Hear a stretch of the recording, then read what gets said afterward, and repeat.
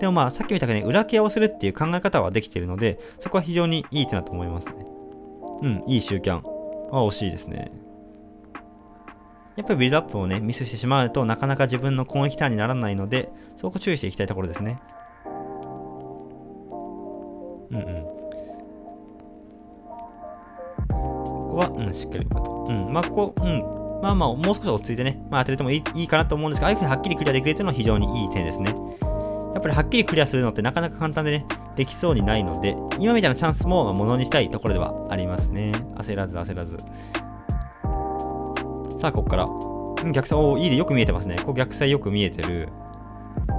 あー、惜しいですね。ここってマニュアル、ん使わなくてもいいのかなっていうふうに個人的には思っていて、ここでの、まず、ここから、中盤からの、えっ、ー、と、サイドの展開、すごくいいですよね。ここからよくサイドが見えていて、このフォーメーションの良さを生かしてると思うんですけども、ここ、多分こういう風にムアップがこういう風に待ってるの見えてるのであれば、えっと、別にここでマニュアルを使う必要性って全くなくて、やっぱマニュアルパスって体勢が悪い時とか、あのー、普通のね、あのパスじゃ出せない時に使うようなパスなので、どっちか利点があるのがね、この状態って別に三角でも出せるのかなっていうふうに個人的には思うので、えー、こうすることによって、やっぱり1個チャンスをこういうふうに潰してしまっているのかなっていうふうに思うので、マニュアルパスの使い方、うん、マニュアルパスの使い方っていうのは、うんと、まあ、もったいないのかなというか、あの、本当に体勢が悪い時に使うっていう認識でいいのかなっていうふうには思います。でも、あそこのサイド見えてるっていうのは非常にいい点だとは思いますね。これも危ないですちょっと。うん。これちょっと焦ってしまってるのかなっていう。ここからルンメニー相手の、うん、でキャンベルは下げると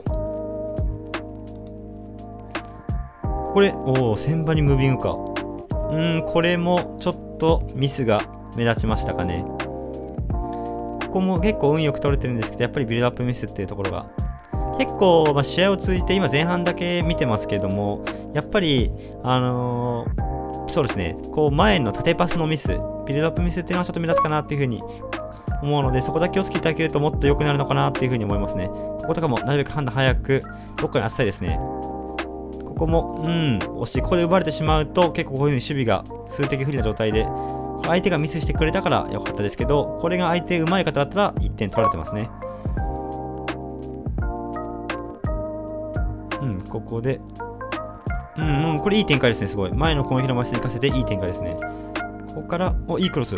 おー、惜しい。これ非常にいい攻撃じゃないですかね。しっかりフォーメーションの良さ、幅を使えて、えー、まあ、あのー、このフォーメーションの良さというか、あのこのフォーメーションならではの攻撃ができてるんで、非常にいいと思います。こうやって見ていると、ちょっとビルドアップ時にやっぱり焦ってしまっている印象なので、前にボールが運べれば、すごいいい攻撃ができる、だとは思うんですけれども、そこまでの過程がちょっと、難しそうですかね。うん。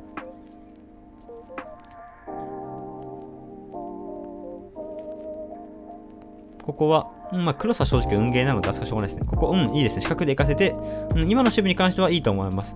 四角で行かせて、自分でパスコースを切ることができてるんで、すごくいい守備だと思います。で、正直あそこらのシュートでなかなか入んないので、まあ、そこまで気にする必要性ないのかなっていうふうに思ってます。うん、危ない。で、ここも、あ、落ち着いてますね。ここも落ち着いてます。こういう、ここの、おー、いいですね。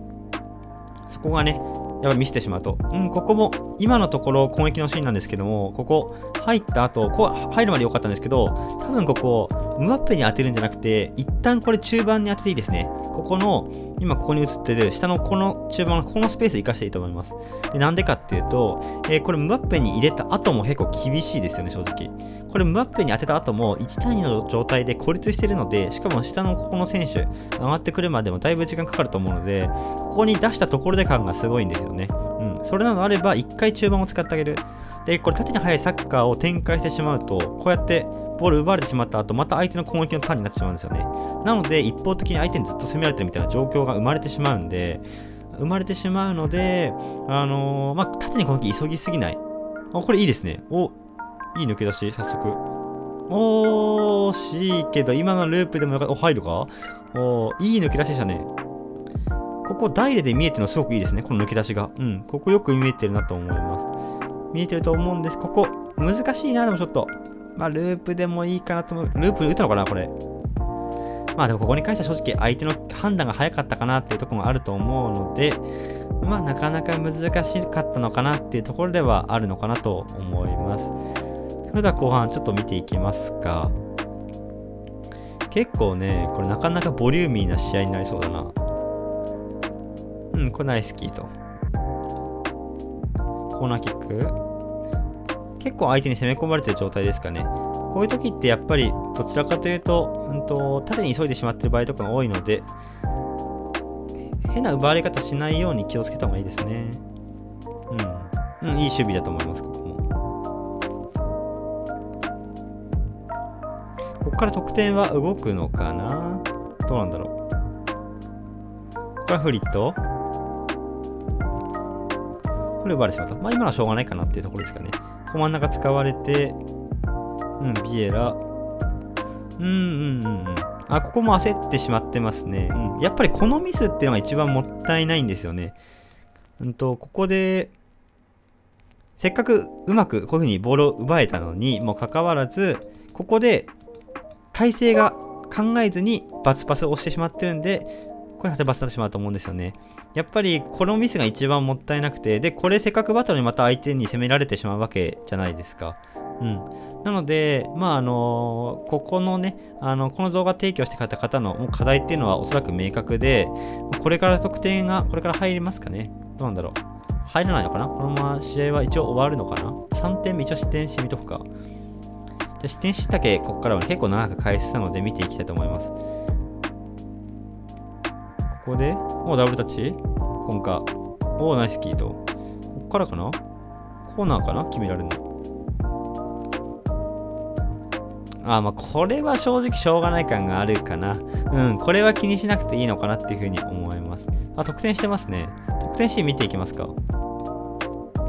開幕で点決めたのかな？うん。フリット？お、いいためですね。おいいゴールなんじゃないかなと思います。すごいうまくこのフリットでボール貯めて、このボアーズの動き見ながらこう混ぜてるんで、で、いい裏抜け出しと。うん、すごくいい得点だと思いますね。うん。で、攻撃がね、こういう風にすごく、まあ、できているので、あのまあ、総評させていただくと、やっぱり一番問題があるのが、こう、まあ、ボールの持ち方とビルドアップなのかなっていうふうに思います。そこが変われば、レートぐっと上がってくるんじゃないかなと思います。はい。で、まあ、本当に見ていて明らかに明確で、それ以外の能力っていうか、それ以外のスキルに関してはすごくあるんですけど、やっぱりこの、うんと、まあ、守備もね、守備がこう1対1の対応とかっていうのはすごく上手なんですよね。なのでそこは自信持っていただきたいなっていうふうに思うんですけれども、えー、やっぱりここの、うーん、まあ、ビルドアップの部分、うん、とボールを奪った後の体勢だったりとか、えーとまあ、カウンターの時に早すぎてしまってボールを奪われてしまったりとか、え、今今のシーンもこういう風にそうなんですけども、やっぱりなんかラッキー、たまたまね、相手のミスでゴールが入んなかったとかっていうシーンが多くて、これって結構上のレベルまで行くと全部決められてしまうと思うんですよね。うん。ですので、やっぱりあの結構これ、あのレートがなかなか伸びないって方に一番多いと思うんですけども、ビルドアップっていうのは結構注意していただかなくちゃいけないのかなっていうふうに思います。うん、なので、しっかりこうボール入った時にこうどこに出すかっていうのを判断する。なるべく例えば、もう、うん、なんだろうな。例えば自分の中でもう2タッチ以内に出すとか、絶対に2タッチ、3タッチ以上はしないとか、そういう風な縛りとかつけてやっても、やってみても、もしかしたら面白いんじゃないかなと思います。結構見てると、出すところがなくて、こうドリブルしてしまって、あ、どうしようどうしようどうしようって呼ばれてしまって、失点するっていうね。あの、まあ、守備が下手とかっていうわけじゃなくて、本来守備がうまいんですけど、奪われ方が悪くて、人数が揃ってない状態で、えー、まあ、あの攻撃されてしまうので、守備が、失点が多くなってしまうっていう現象が起きているので、うん、起きてしまっているので、まあ、こういった字しっかりね、決めるのかな？を決めると。うん。なので、あの、まあ、そうさせていただくと、やっぱりビルドアップ、うん、ビルドアップっていうところを、一番注意していただけるといいのかなと思います。それ以外の面に関してはすごくいいと思うので、まずそこ直していただけると、本当レート、これ多分そこ直したら100ぐらい上がるんじゃないかなっていうふうに個人的には思いますね。はい。ってな感じで、えー、今日はね、コーチングさせていただきました。いかがだったでしょうか？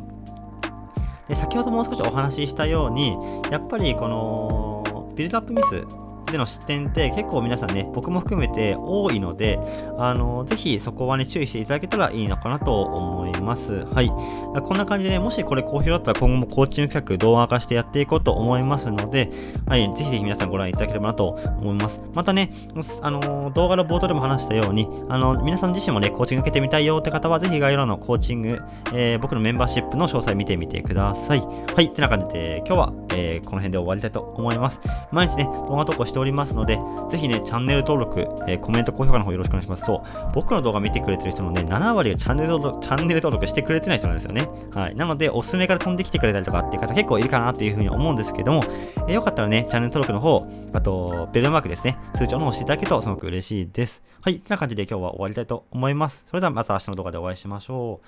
じゃあねー。